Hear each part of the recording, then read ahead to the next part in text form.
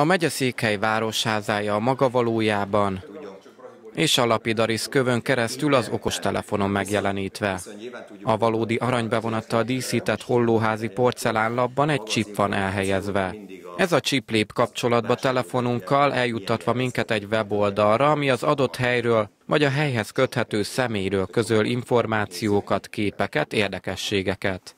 Eredetileg síremlékeken alkalmazta az innovációt a Szabolcs-Szatmár-Bereg megyei kifejlesztő cég, ma már azonban egyre több városban használják turisztikai célzattal.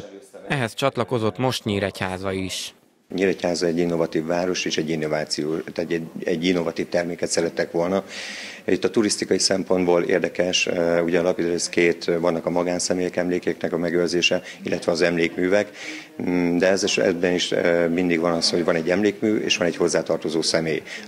Az emlékműnek mm, turisztikai szempontból azért van érdekes, mert eleve be tudja mutatni az emlékművet, illetve arról információkat tud biztosítani az oda látogató számára, illetve van mindig hozzá köthető személy, ami vagy a városhoz, vagy az adott épülethez, vagy, vagy egyébként más jellegű információval bír.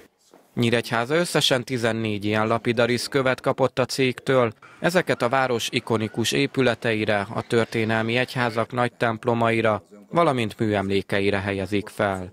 Az önkormányzat célja, hogy digitálisan is élményt nyújtson a városról, valamint hogy interakcióra hívja az itt élőket és az ide látogatókat. A tudástár ugyanis bővíthető lesz a felhasználók által is. Ez nem egy statikus dolog, hogy NFC alkalmazással működik, ha az ember hozzáérinti a telefonját, akkor egy alapinformációt kap.